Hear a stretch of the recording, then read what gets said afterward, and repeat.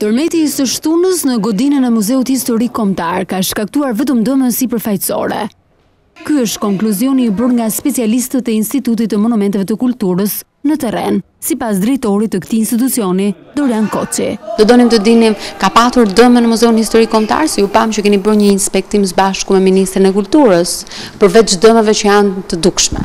Besoj se dëgjuat edhe ambasadoren e Francës, zonjën Christina Vasak, e cila Edhe prania e saj këtu është një akoma më tepër përforcim që Muzeu Historik Kombëtar ka patur disa dëme sipërfaqësore, çarje, disa rënie suvaje, të cilat janë inspektuar menjëherë ditën e nesme nga një ekip i specializuar i Institutit të Monumenteve të Kulturës dhe që ka nxjerrë një analizë për sa i përket aspekteve të vërteta arkitektonike, se sa e qëndrueshme është godina e Muzeut Historik Kombëtar dhe nëntë qerek ishte i hapur për vizitorët e shumtë, të cilët vazhdojnë dhe duke qenë në sezon turistik, vazhdojnë ta vizitojnë Muzeun Historik Kombëtar. Me pak fjalë nuk ka alarm, vizitorët të vijnë të qetë në muze. Nuk ka alarm.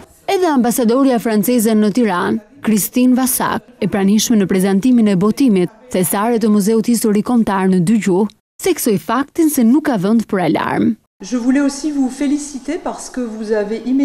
Dua t'ju përgëzoj pas atij tërmeti që na shkundi të gjithëve. Ju inspektuat ambientet e muzeut së bashku me ministren e Kulturës dhe është e rëndësishme të nënvizohet se godina ka pësuar vetëm plasaritje të mureve, por struktura e godinës është solide dhe pa probleme për turistët që janë të shumtë në këtë muze. Mais en tout cas il semble que la structure est est bien tenue. Ditët e Trashëgimisë Kulturore në Muzeun Historik Kombëtar u celebruan me prezantimin e katalogut, ku përfshihen tre periudha të rëndësishme, Periudha Ilire, Mesjeta dhe objektet e ikonografisë, të cilat prezantohen në Muzeun Historik Kombëtar. Botimi është realizuar nga studiuesit Dorian Koçi, Skënder Bushi dhe Andrea Llukani.